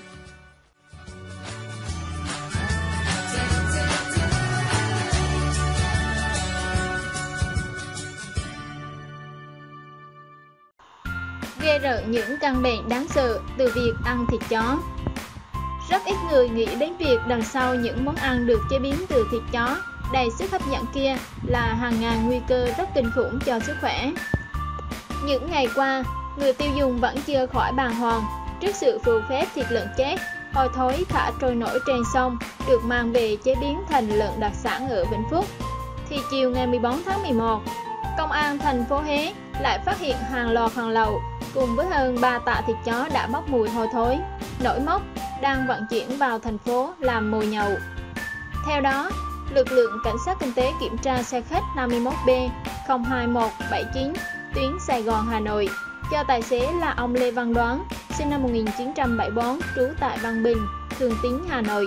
Vận chuyển thì phát hiện trên xe có chứa 3 bao tải quần áo, vải có trọng lượng 250 kg, 114 con ống nhựa, máy móc, thiết bị và phụ tùng các loại không có hóa đơn chứng từ.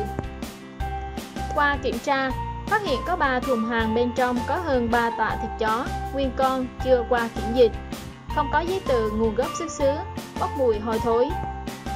Như chúng ta đã biết, thịt chó là món ăn truyền thống của người Việt. Vào dịp cuối năm, loại thực phẩm này được tiêu thụ ngày càng lớn. Do đó, việc trà trộn thịt chó dài, chó chưa được kiểm dịch, chó ôi thối là rất dễ xảy ra, gây ra những bệnh nguy hiểm cho con người.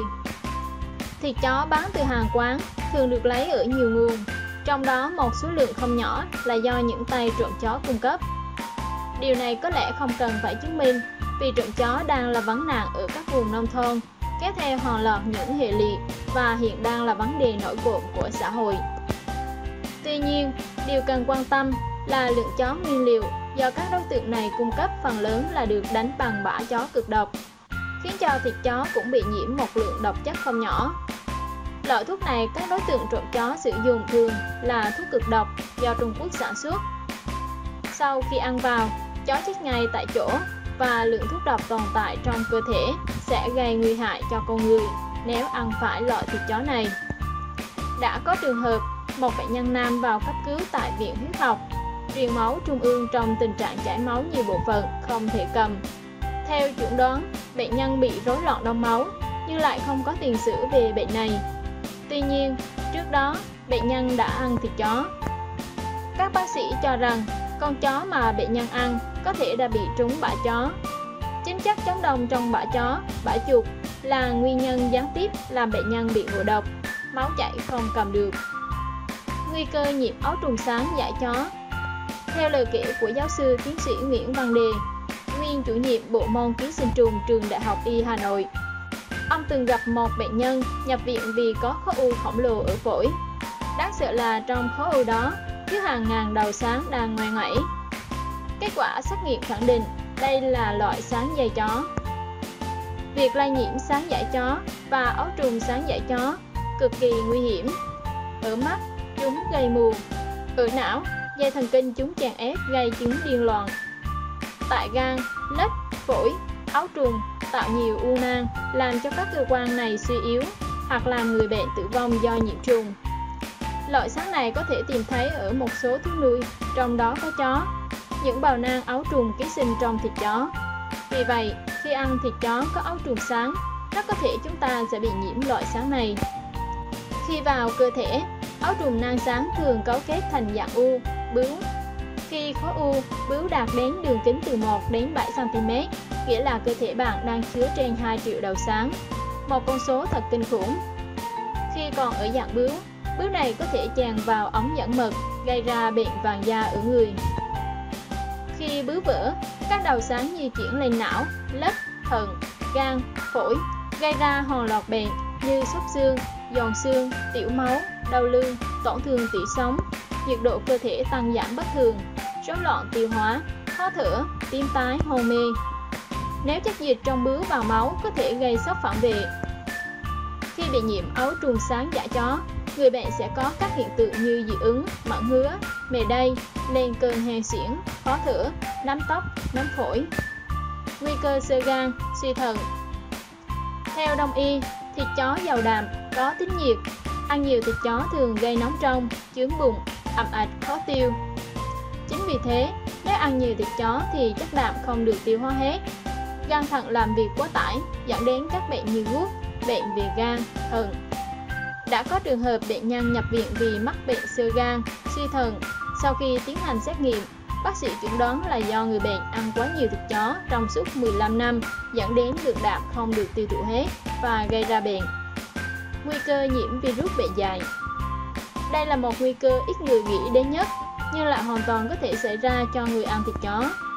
Ba tuổi trẻ từng dẫn lời của phó giáo sư tiến sĩ Nguyễn Hữu Đức, Đại học Y Dược Thành phố Hồ Chí Minh kể về một trường hợp bệnh nhân không bị chó dại cắn nhưng lại mắc bệnh dại. Nguyên nhân là vì người đó đã ăn tiết canh chó và con chó này đã mắc bệnh dại. Ngoài ra, kể cả những con chó đã được tiêm phòng không có khả năng gây tử vong thì người thường xuyên ăn thịt chó vẫn có khả năng bị tổn hại về sức khỏe. Lý do bởi vaccine phòng dạy ở chó được chích mỗi năm để tiết kiệm giá thành. Đa số vaccine dạy cho chó hiện hành đều là chế phẩm từ virus dạy, sống giảm độc lực. Chính vì vậy, dư lượng vaccine trong thịt chó theo biểu đồ tích lũy trong một con chó 3 đến 4 tuổi đủ sức gây yếu liệt thần kinh trung ương của người ăn theo thời gian. Cảm ơn bạn đã xem video của Sức khỏe tự nhiên. Hãy like, comment và đăng ký kênh bạn nhé. Vì sức khỏe người Việt.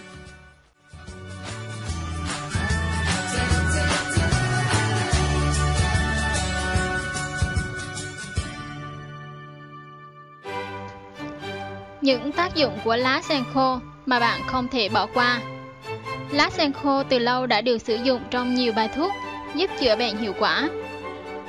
Lá sen khô từ lâu đã được sử dụng trong nhiều bài thuốc giúp chữa hiệu quả các căn bệnh nguy hiểm. Cùng tìm hiểu những công dụng của lá sen khô và cách sử dụng đúng loại lá này nhé. Lá sen là loại lá rất quen thuộc ở Việt Nam, nhưng không phải ai cũng biết lá sen khô có tác dụng gì. Từ xưa, lá sen đã được sử dụng rất nhiều với các mục đích khác nhau trong cuộc sống. Người ta dùng lá sen để ướp trà, gói xôi, bọc cốm, đun nước tắm. Ngoài ra, lá sen còn được phơi khô để sử dụng như một bài thuốc giúp chữa nhiều căn bệnh nguy hiểm. Tác dụng của lá sen khô đã được nghiên cứu và khẳng định mang lại hiệu quả thực sự đối với sức khỏe. Những tác dụng của lá sen khô 1. Trị máu hôi sau khi sinh Máu hôi sau sinh là tình trạng sản dịch có mùi hôi khó chịu. Điều này thường khiến các sản phụ rất lo lắng. Để khắc phục, hãy sử dụng lá sen khô theo cách sau. Dùng 20 đến 30 g lá sen khô đem tán nhỏ, hòa với nước uống. Hoặc cho lá sen khô vào sắc với 200 ml nước, lấy 50 ml nước lá sen cô đặc, uống ngày một lần. Ngoài bài thuốc từ lá sen khô, mẹ có thể áp dụng thêm cách làm sạch sản dịch sau sinh bằng rau ngót để tăng thêm hiệu quả. 2. Trứng mất ngủ Không chỉ hạt sen mà lá sen khô cũng có tác dụng chữa mất ngủ rất hiệu quả. Bạn chỉ cần dùng 30g lá sen khô đem hãm với nước sôi thành nước uống. Ngày uống nhiều lần thay cho nước trà sẽ có tác dụng rất hiệu quả. 3. Lá sen khô chữa bệnh sốt xuất huyết đây cũng là một tác dụng của lá sen khô. Để có bài thuốc chữa sốt xuất huyết từ lá sen khô, bạn chuẩn bị những nguyên liệu sau. Lá sen khô 30g, ngó sen hạt cỏ nhỏ nồi 40g, rau má 30g, hạt mã đề 20g. Cho hết các nguyên liệu trên vào ấm. Thêm nước sắc thành thuốc. Ngày uống một thang như trên. Nếu xuất huyết nặng hơn, có thể tăng lượng lá sen lên 50 đến 60g. Bón chữa chảy máu cam, tiêu chảy ra máu. Lá sen khô cũng được dùng làm bài thuốc chữa chảy máu cam hay tiêu chảy ra máu hiệu quả. Chuẩn bị lá sen khô 40g, rau má 12g. Cho hai nguyên liệu này vào ấm, thêm 400ml nước sắt thành 100ml thuốc, chia làm hai lần uống trong ngày. 5. Chữa ho, non ra máu Để dùng lá sen khô chữa chứng ho, non ra máu, cần làm như sau. Chuẩn bị lá sen 30g, ngó sen 30g, sinh địa 30g, trắc bá 20g, ngải cứu 20g, đem thái nhỏ, phơi khô rồi sắc thành thuốc uống trong ngày. 6. Chữa đau mắt Lá sen khô cũng được dùng để chữa đau mắt rất hiệu quả. Chuẩn bị lá sen 10g, hoa hà 10g, hoa cúc vàng 4g. Đem các nguyên liệu này sắc với nước thành nước uống ngày 2 lần lá sen, hoa hà, mỗi vị 10g, cúc hoa vàng 4g, sắc uống còn chữa cao huyết áp. 7. Tác dụng của lá sen khô giảm cân Một tác dụng của lá sen khô rất được ưa chuộng, đó là để giảm béo. Lá sen khô đem hãm với nước uống hàng ngày, không chỉ giúp giải nhiều cơ thể, mà còn kiểm soát cân nặng rất tốt. Kết hợp uống nước lá sen khô với chế độ ăn uống, tập luyện hợp lý, bạn có thể giảm cân nhanh chóng. Bạn có thể tham khảo cách làm trà lá sen để thuận lợi nhất cho việc uống hàng ngày nhé. Cảm ơn bạn đã xem video của Sức khỏe tự nhiên. Hãy like, comment và đăng ký kênh bạn nhé. Vì sức khỏe người Việt.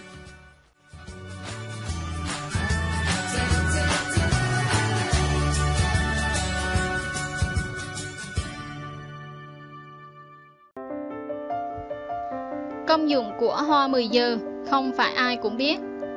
Hoa 10 giờ không chỉ đẹp, còn có rất nhiều công dụng như chữa ho, chữa bỏng nhẹ hay ghẻ lửa. Chỉ cần một mồi nhỏ cắm xuống đất là đã có ngay cây cảnh quanh nhà, lại có luôn vị thuốc hay. Hoa 10 giờ nở vào 10 giờ nên thường được lấy làm tên gọi. Thuộc họ rau sam, thân thảo, mọc bò cao khoảng 10 đến 15 cm, cây và lá mọng nước. Hoa 10 giờ có nhiều màu như đỏ, hồng, vàng hay trắng với quả hình cầu. Lò hoa này thường ra vào mùa hè, thu, màu sắc vô cùng rực rỡ, bắt mắt, nên hay được trồng quanh nhà để làm cảnh. Nhưng ít ai biết, ngồi mang vẻ đẹp đặc trưng, hoa 10 giờ còn có thể chữa bệnh, chữa bỏng. Theo đông y, hoa 10 giờ vị chua, tính bình, tác dụng hoạt huyết, giảm rắc họng, tiêu viêm, tiêu sưng. Các bộ phận của cây đều có thể dùng làm thuốc, đặc biệt cho các trường hợp viêm họng, bỏng hay ghẻ ngứa cực hiệu quả. 1. Chữa viêm họng Nếu bạn đang khó chịu vì chứng viêm họng, hãy thử bài thuốc từ hoa 10 giờ xem sao nhé. Nguyên liệu 100g hoa 10 giờ 10g lá cây rẻ quạt 100ml nước sôi còn nóng. Cách dùng Hoa 10 giờ và lá cây rẻ quạt rửa sạch, giả nhỏ Cho nước sôi vào hòa đều rồi chắc lấy nước. Lấy nước, ngậm đều mỗi ngày 2 đến 3 lần Dùng liên tục trong vòng 3 đến 5 ngày Sẽ thấy ngày hiệu quả tốt. 2. Chữa bỏng nhẹ. Khi bị bỏng, việc đầu tiên bạn cần làm là ngâm ngay vết thương vào nước mát sau đó hái nắm cây hòa 10 giờ, không kể liều lượng, đem rửa sạch, giả nhuyễn rồi đắp lên vết thương. Lưu ý, vừa đắp vừa dỡ ra liên tục cho mát. Khi nắm lá ấm dần lên, không còn mát thì thay nắm khác. Thay liên tục cho đến khi vết bỏng không còn nóng rát. Đối với vết thương nhẹ, chỗ da bị bỏng sẽ hồi sinh bình thường, như không có chuyện gì xảy ra. Đối với các vết bỏng sâu như bỏng thép thì chỗ da bỏng sẽ khô đi, nhưng không phòng hay đau rát. Dần dần, lớp da mới phát triển rồi lớp bỏng tự bong ra. 3.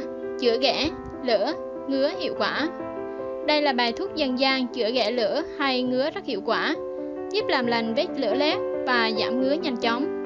Dưới đây là hai bài thuốc chữa ghẻ lửa, ngứa được lưu truyền. Bài thuốc số 1 Nguyên liệu 100g thân lá hoa 10 giờ 100g lá rau sam 100g lá xoan tươi.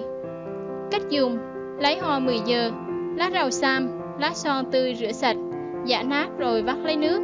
Ngày 2 đến 3 lần Lấy hỗn hợp này bôi vào vùng tổn thương Kiên trì bôi liên tục khoảng một tuần là thấy ngay hiệu quả. Bài thuốc số 2 Nguyên liệu 50g thân lá hoa 10 giờ 30g lá táo 2g muối ăn.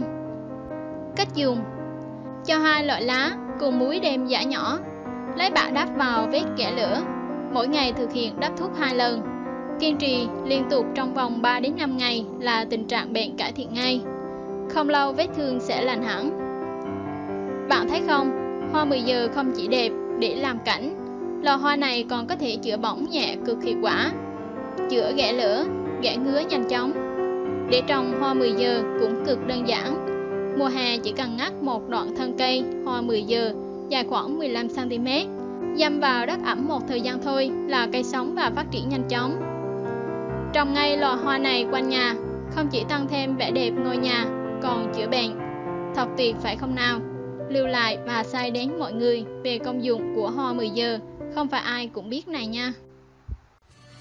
Cảm ơn bạn đã xem video của Sức khỏe tự nhiên hãy like, comment và đăng ký kênh bạn nhé. Vì sức khỏe người Việt.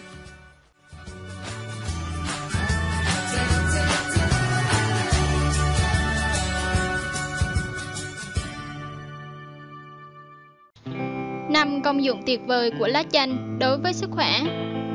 Theo đông y, lá chanh có vị cay ngọt, tính on, có tác dụng hòa đàm, trị khoái, sát khuẩn và tiêu đờm. Lá chanh có nhiều công dụng tuyệt vời đối với sức khỏe. 1. Chữa ho do lạnh Những trường hợp bị ho do lạnh có thể được chữa bằng lá chanh. Bạn cần chuẩn bị lá chanh tươi 5g, gừng tươi 3g, sau đó rửa sạch tất cả các nguyên liệu. Thái gừng thành lát mỏng và sắc với 400ml nước còn 100ml. Khi uống nước này, bạn có thể cho thêm ít đường. Dùng hỗn hợp này trong 3 đến 5 ngày, bạn sẽ thấy kết quả rõ ràng. 2. Cảm sốt không ra mồ hôi Những người bị cảm sốt không ra mồ hôi có thể dùng lá chanh khô 30g hoặc lá chanh tươi 10g, sắc lấy nước để uống trong ngày. Ngoài ra, bạn cũng có thể dùng kết hợp với các loại thảo dược khác theo công thức. Lá chanh 20g, lá cúc tần 15g, lá bưởi 5g, vỏ quýt 10g, sắc uống trong ngày. Bạn cần dùng vị thuốc dân gian này trong 2 đến 3 ngày. 3. Hỗ trợ điều trị hen phế quản. Những người bị hen phế quản có thể dùng bài thuốc dân gian trị hen từ lá chanh trong khoảng 10 ngày. Theo đông y, bạn cần chuẩn bị lá chanh khô 35g, dây tơ hồng 15g, tất cả xà vàng sắc với 3 bát nước, lấy một bát, ngày uống 2 đến 3 lần. 4. giảm sưng đau do mụn nhọt, chưa có mũ. Lá chanh có tác dụng diệt khuẩn, tiêu đờm nên giúp giảm sưng đau do mụn nhọt hiệu quả. Bài thuốc giảm sưng đau do mụn nhọt có công thức: lá chanh 10g, lá cây tầm sông 8g, tinh tre 10g. Bạn cần phơi khô, tán bột các loại nguyên liệu này rồi rắc lên nơi tổn thương có mụn nhọt và băng lại trong khoảng 8 đến 10 phút.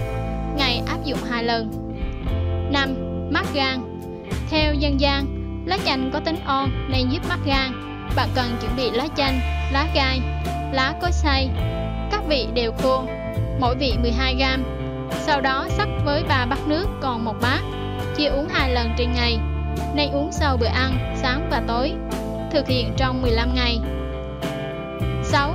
Nước sông giúp giải cảm, nhức đầu. Bạn có thể giải cảm, nhức đầu bằng vị thuốc dân gian. Trong đó có bài thuốc lá chanh kết hợp với lá bưởi, hương nhu, cúc tầng lá tre, mỗi vị 50g, bạc hà 20g, xả hai củ, tỏi ba nhánh. Tất cả rửa sạch, nấu nước xong cho ra mồ hôi. Phương thuốc này giúp kích thích mồ hôi tiết ra, giảm nhức đầu và giải cảm hiệu quả.